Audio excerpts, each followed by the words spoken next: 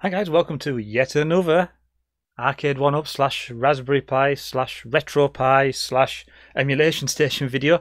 In this tutorial video what I'm going to show you is I'm going to show you how to scrape your games so you can get all the nice images, you can get all the videos, you can get the instructions as well, the instructions and uh, a little bit of bio around the game. And if you're not sure what I mean, then I mean something like this. So if I go into the, uh, I don't know, Daphne say, because it seems to be the famous ones. You'll see we've got the uh, the video playing in the background. We've got a little bit of information going in the bottom right hand corner. We've got the correct name on the left, and we've got the uh, Astron Belt marquee at the top of the actual screen there as well. And it's the same for most them. If I go down these as well, uh, so like Dragon's Lair, uh, Dragon's Lair 2, and they're quite good. They just add that little bit something extra to your actual arcade machine. Now, the systems that I want to have a look at today, I've left purposely blank so I can show you guys how, how to do it. For example, the PSP. Now the PSP, you'll see, I've got games on there, but I haven't got any information. I've got no marquees, I've got no videos, I've got no BIOS in the bottom right-hand corner. And it's the same for uh, the likes of, uh, where are we at now? Uh, Game and Watch. I've got no information in there on the Game and Watch as well. It's the same with the PlayStation. So the PlayStation ones on I've got no information on there neither. So we're now going to go over to my laptop. I'm going to show you how to start scraping the systems for the PlayStation and for the PSP. And then we're going to come back over to the, the uh, arcade and I'm going to show you it all in its glory. See you in a minute. First of all, then, what you've got to do is you've got to install one of the two scraping files to your Raspberry Pi. Now I'm going to install both of them here because I'm going to go through with you how to use both of them. So, but to do that, you need to install them. And you, you first of all, you've got to exit to the command prompt here, and either by exiting emulation station, or you can go into Raspberry config through the menu on your Raspberry Pi. You can do that, but I just prefer to do it like this. And you need to type in that code there, guys. You need to type in sudo squiggly line slash retropie dash setup slash retropie underscore setup.sh and I will flash that up in front of uh, in front of you now in bigger letters so you can see it. And then when you press enter, that puts you into the RetroPie setup page. Now there is a reason why I like doing this through PuTTY, and it will come apparent later on. You need to you need to install the two programs. So to do that, you need to go into Manage Packages. You need to manage the optional packages. And if you scroll all the way to the bottom, you've got the two scrapers. So you've got scraper and skyscraper. So the easiest thing to do, guys, is just to press the enter button, and then I've already installed them. So you would you would install from source or from binary. So that would be the uh, scraper, and then we've got skyscraper as well. There. So I'm just gonna I'm just gonna update scraper because I haven't done it for a while. But if you install them, and then we'll uh, once that's been done, we'll come back and I'll show you the next stage.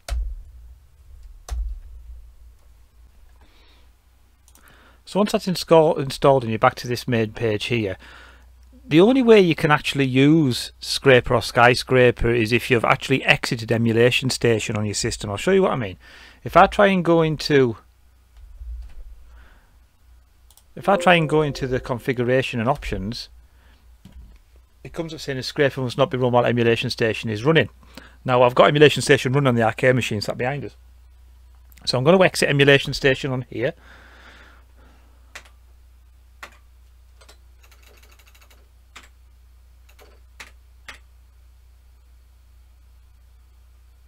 There you go, I've exited on there now. So now this time I go into the uh, configuration option screen, you'll see it loads up. Now, so you'll see the systems I have preferred on there where we've got um, thumbnails only enabled, prefer screenshot enabled, arcade source Italia, console source screen scraper, ROM names are there, the games DB, uh, game list overwrite, user ROMs folder enabled, download videos enabled because I want videos as well.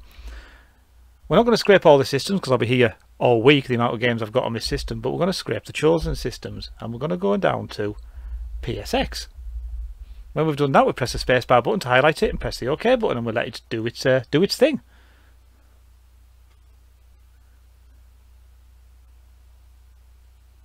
I'll just fast forward this bit because it'll take a little bit of time to download and write everything to the uh, to the memory card.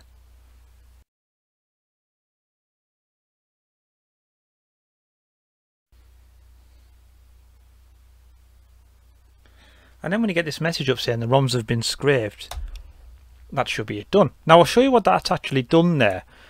What that done is in the PSX uh, folder, it's actually downloaded all these files. You can see the times here that it's downloaded it for us. So all the JPEGs, all the videos, all the marquees and everything like that. And that is in the ROMs, PSX, images folder of your uh, of your RetroPie, of your SD card. Technically what it's done to make that all work is it's, it's produced this games list document here. And this games list document here tells RetroPie where to find all that images. So if you open it with Notepad++, you can see it's got this is the this, this is the information that, that scraper's just wrote in. So it's FIFA World Cup. That's the name of the file. That's what it wants to be displayed on the screen. It gives you a bit of the description. It tells you where the image is. It tells you where the marquee is and it tells you where the video is as well. It uses all that information to display it on the screen. So if you ever wanted to write your own or do it without scraper or get your own videos, you'd literally just need to change this video uh, script here, this video location with whatever you want to put on it. It's as simple. Now the second program that I want to show you is a program called Skyscraper. Now I particularly think this is a more powerful program. So if you find that Scraper doesn't work for you or doesn't capture all the images or doesn't get as much information or it's down because sometimes the stuff goes down, the sources go down, I tend to use Skyscraper as well. So we're going to scrape the PSP uh, ROMs with these this time. I'm going to show you what that looks like. So we're going to Skyscraper. And again, we've already installed it, so we're going to go to the configuration and options. Now this is a bit different this. You'll see on here you've got a dash, gather and cache resources, dash games list and dash other. Now they're the headers. So if you imagine that there is the header for these three, that's the header for these three, and that's the header of these three. So I'm going to show you how I've got these options set up. We're going to start with the game list generation. So the we don't we, we, if you click on the generate options, we want it to use the source name for the ROMs. So it's going to rename the ROMs to the source name. We're going to remove the bracket info and we need to use the ROM folders for the game list media and data. That just messes around with how it actually translates the information and writes them on the screen. Okay, so we're going to we're going to go back. Uh, the gather sources, I'm going to use Screenscape, Screen Scraper because that seems to be best for me. But you've got ArcadeDB, the Games DB, and Open Retro and World of Spectrum as well if you need them ones. Uh, I'm not going to get to do the rest of it. I, I want to download the videos because that's what I wanted to do as well. You can edit the config artwork and alias map if you need to, but I never touch any of them.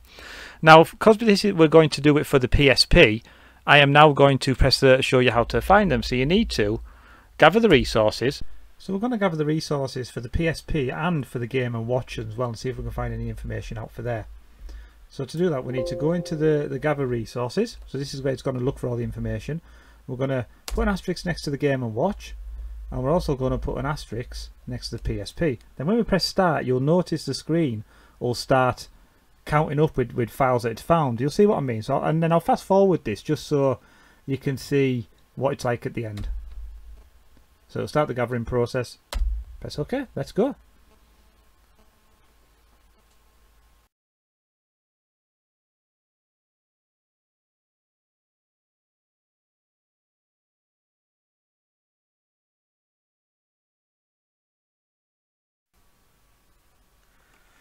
There we go guys, I mean it took a bit of time to do, uh, but obviously there's there's loads of games on there to do, so it goes and gets all the information, it downloads it to a cache file on your uh, or to a cache file on your micro SD card. Anyway, you get this you get this menu here. You're going to press OK because it's gathered the information, and now you need to write that information to your SD card in the appropriate place. And to do that, we're going to go down.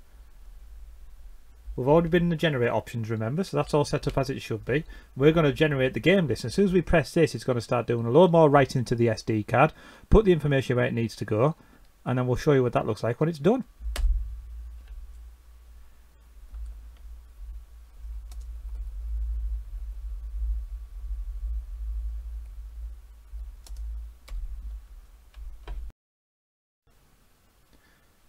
So now that's generated the uh, the games list, I'll just show you quickly what it's done. If I open up the RetroPie um, SD card with the ROMs and the PSP, you'll see the games list like we did a little bit earlier on with the uh, with the scraper information. But you've got a media folder this time, and here has got all the videos, all the screenshots. It's got all the marquees, it's got everything that it needs from there. So now that should be it done and dusted. So I'm gonna finish on the computer here I'm going to reboot emulation station and it is as simple as going back out, coming out of it all, typing in typing in emulation station and that'll reboot and I'll see you across the other side. So now we'll just set an emulation station up to start up here so we'll just see what happens when it does start. So the three systems that we were looking for was the Game & Watch and the PSP using using Skyscraper and then the uh, other one was the PlayStation using a normal scraper. So let's go and find them.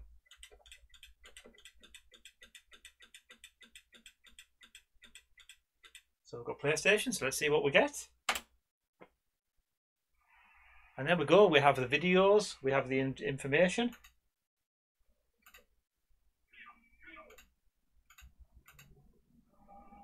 So I the videos and the information in, uh, in the bottom right hand corner. Some of them don't work. Now, if they don't work, that means you go back into the Scraper and set the uh, the different sources, and we'll try and find them then for you. But that looks good to me so far.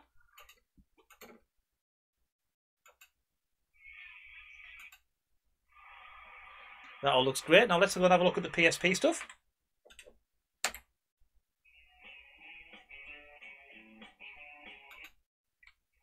There we go. They've all been downloaded with videos and nice marquees there.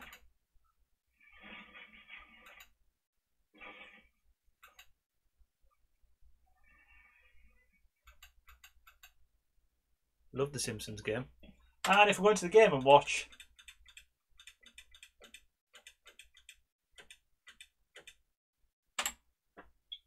There we go, we've got video introductions of the actual games there.